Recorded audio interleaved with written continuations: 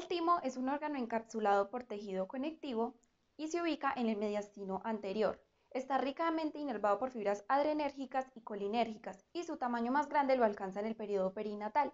Él sufre un envejecimiento rápido debido a hormonas sexuales como la progesterona, la testosterona y los estrógenos, que hacen que las células epiteliales disminuyan y además se dé una apoptosis de los timocitos. Pero si bien este va disminuyendo en tamaño a medida que avanza la edad, él nunca desaparece ni tampoco pierde funcionalidad. El timo está compuesto de dos lóbulos, un lóbulo derecho y un lóbulo izquierdo.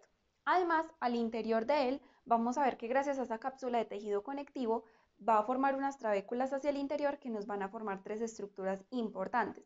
Una va a ser esa misma cápsula que la vemos en rojo, dos va a ser la corteza que la vemos en azul y por último tres la médula que la vemos en blanco conteniendo unos corpúsculos que los denominamos corpúsculos de Hasal. Ahora, en este órgano va a ser muy importante que se da la maduración de los linfocitos T que vienen de la médula inmaduros y en este pequeño segmento, en donde aquí lo vamos a tener ampliado, vamos a ver esos pasos para la maduración de los mismos y los diferentes tipos de linfocitos T que se pueden originar. Muy bien, en este segmento que estamos viendo vemos un pedazo de cápsula o un pedazo de corteza y de médula junto con un corpúsculo. Eso lo vamos a tener ampliado acá, en donde aquí vemos la cápsula, hasta aquí vemos la corteza, es decir, todo este espacio, y aquí vemos la médula junto con el corpúsculo. Ahora, Dentro de todo esto va a ocurrir la maduración de los linfocitos T. Ellos van a provenir de la médula ósea, que los conocemos como progenitores tímicos tempranos, o aquí en el timo los podemos llamar timocitos, que son los linfocitos inmaduros. Acá vamos a ver que entre la unión cortico-medular van a entrar los vasos sanguíneos y de allí es donde, o por allí es donde van a entrar estos linfocitos inmaduros en donde por medio de las citoquinas CXCL1 ellos van a ser atraídos hacia la corteza, gracias a ese receptor que ellos tienen, que es el CXCL4, que se acopla a esta, a esta quimioquina que los atrae. Una vez aquí en la corteza, ellos desde la médula vienen con dos receptores, que son el CD34 y CD7. Ahora, vamos a ver que ellos van a empezar un recorrido de maduración, en donde van a ser atraídos hacia la parte más externa de la corteza, es decir, casi cerca a la cápsula y allí eh, vamos a tener a las células nodrizas que van a ser la unidad de maduración de estos linfocitos, en donde allí lo que van a hacer es perder estos receptores que traen desde médula, tanto el CD34 como el CD7. Aquí ellos lo pierden y a la vez ganan su receptor TCR, que es el que va a reconocer el antígeno con la molécula del complejo mayor de histocompatibilidad. Entonces, aquí van a ganar ese TCR y van a eliminar estos dos que traían desde la médula. Ahora, él vuelve eh, o sigue su recorrido ahora hacia la médula. Y en ese recorrido vamos a tener que él va a ganar tanto el CD4 como el CD8. Estos van a ser importantes porque hasta acá, en este punto, el linfocito es doblemente positivo, ya que tiene ambos tipos de receptores. Pero Resulta que para pasar desde la corteza a la médula va a ocurrir algo que denominamos como la selección positiva. En esta selección positiva, las células corticales lo que van a hacer es presentarle a estos linfocitos moléculas del complejo mayor de histocompatibilidad para saber si las reconocen o no. Si estos linfocitos no reconocen esas moléculas del complejo mayor de histocompatibilidad, estos linfocitos van a ser eliminados, mientras que los linfocitos que se conserven son los que van a poder pasar a la médula. Allí, en esta selección positiva, se van a perder casi el 95% de los linfocitos. Por lo tanto, solo un 5% va a lograr pasar hasta la médula y va a poder hacer el siguiente paso. Entonces, resulta que en este paso, después de esa selección positiva, ellos van a perder alguno de los receptores, ya sea el CD4 o el CD8. Entonces, aquí vemos un linfocito que puede quedar con el CD4 o un linfocito que puede quedar con el CD8, además de su receptor TCR que lo adquirió en la célula nodriza. Allí, una vez ellos pasan a la médula, tienen que pasar por otro proceso, que es el proceso de selección negativa. En este caso, las células medulares o además dendríticas que se encuentran allí van a presentar a esos linfocitos antígenos propios para saber si estos linfocitos reconocen esos antígenos propios o no. Esta, esta, presentación de los antígenos propios se va a dar gracias a la activación de un gen que se denomina AIRE, que es el gen regulador de la autoinmunidad.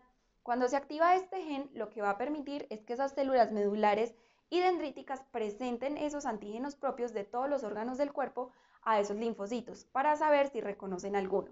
En caso de que estos linfocitos reconozcan un antígeno propio, aquí vemos el antígeno propio con una molécula del complejo mayor de histocompatibilidad, esto hay que tenerlo claro, la célula dendrítica y la medular van a presentar esos antígenos propios unidos al complejo mayor de histocompatibilidad, ya sea tipo 1 para los linfocitos CD8 o tipo 2 para los linfocitos CD4 positivos. Si ellos llegan a reconocer alguno de esos antígenos, ellos van a ser eliminados por apoptosis para que ellos no salgan del timo ni generen una enfermedad autoinmune. Si ellos no reconocen ningún tipo de antígeno propio, entonces ellos son los que van a seguir con el proceso de maduración. Ahora, los corpúsculos de Hasal que encontramos en esa médula, ellos van a aparecer en el tercer trimestre de la vida embrionaria y van a tener dos funciones principales. Una va a ser la producción de las células o los linfocitos T reguladores. Ellos cuando salen a la periferia se van a encargar de volver o hacer tolerantes a esos linfocitos T que están reaccionando con lo propio, contra lo propio y no fueron eliminados en el timo. Y ellos van a tener una característica y es que son CD4 positivos y CD25 positivos, por lo que los vamos a, diferenciar de los linfocitos normales CD4 positivos. Ellos en este caso contienen también al CD25 y por eso se distinguen de los, eh, en este caso, los ayudadores, que son los CD4 únicamente. También ellos lo que van a hacer es eliminar esas células apoptóticas muertas e hiporreactivas que no alcanzaron ese proceso de maduración por la vía linfática eferente. Hay que tener también en cuenta algo y es que el TCR, que es formado para el linfocito y es el que le va a permitir reconocer el antígeno específico, es un TCR, digamos, o un receptor formado al azar en el timo, porque al timo no entra ninguna clase de antígenos por el tejido conectivo que lo está encapsulando y también por ese tejido subcapsular que va a recubrir, digamos, toda la superficie vascular, que va a impedir que allí entre cualquier clase de antígeno. Por lo tanto, la formación de ese TCR va a ser totalmente al azar. Los linfocitos que hemos visto hasta ahora corresponden a los de la inmunidad adquirida. Los de la innata también, su maduración se va a dar en el timo, pero ellos van a tener, digamos, vías diferentes. Y allí se van a producir aquellos que, por ejemplo, tienen el TCR gamma delta, que aquellos que son también doblemente positivos, los que están haciendo parte de las mucosas y los de cadena invariante, que todos ellos hacen parte de la inmunidad innata. El otro órgano linfoide primario que tenemos es la médula ósea. De allí van a surgir todas esas células hematopoyéticas y linfoides. Vamos a ver que ya, ya como lo habíamos visto en un video anterior, ella se origina en huesos largos, huesos también como las caderas, las vértebras, el esternón, etc. Y también el fémur, que es un hueso largo. Y allí vamos a tener que el hueso tiene una parte compacta y una parte esponjosa. En la parte esponjosa vamos a tener trabéculas y esas trabéculas, aquí vamos a tener una parte ampliada de una trabécula, va a estar cubierta por endostio. Este endostio está compuesto de osteoblastos y osteoclastos que se encargan de la formación y remodelación del hueso. Además, en este endostio vamos a tener muy cerca de allí las células madres, que son las que nos van a dar origen a todas estas líneas linfoides y mieloides y también, digamos, de la producción de células sanguíneas que hemos visto a lo largo de los videos. Ahora, aquí tenemos que, por ejemplo, tenemos células como el linfoblasto, tenemos por acá un vaso sanguíneo que tiene un nervio simpático, una célula grasa que va a ser muy importante para producir diferentes tipos de moléculas que van a ayudar en la maduración de esas células. Por acá tenemos un seno venoso por el cual van a salir, digamos, ya las células maduras o en el caso de los linfocitos T van a salir allí hacia el timo para terminar de madurar. Vamos a ver cómo ocurre el proceso de maduración en este caso de los linfocitos B, ya que ellos, su mayor parte de maduración se va a dar en la médula ósea y ellos después van a ir al vaso a donde pueden terminar, digamos, cierta parte de maduración, pero allí es donde se va a dar su mayor formación y maduración. Entonces, los pasos de maduración de los linfocitos B vamos a empezarlos desde el linfoblasto, en donde este tiene su origen en la célula madre. Además, este va a tener que estar muy cerca a este endostio debido a que él va a hacer el papel de corteza tímica, que recordemos era la, corteza la que ayudaba a la maduración de los linfocitos T. En este caso, es el endostio el que va a ayudar en todos estos procesos de maduración del linfocito B. Este va a pasar a ser un linfocito pro B con receptores CD34 y CD19. Él, para pasar al linfocito pre B, va a perder el CD34, conserva el CD19 y además gana su receptor BCR. Luego, él va a pasar también por un proceso de selección negativa en donde se van a escoger los linfocitos que no reconozcan lo propio para que ellos pasen hacia el seno venoso y puedan ir hacia el vaso. En caso de que hayan linfocitos que hayan reconocido lo propio y pasen a este seno venoso, de todas maneras ellos van a sufrir un proceso de destrucción en el vaso.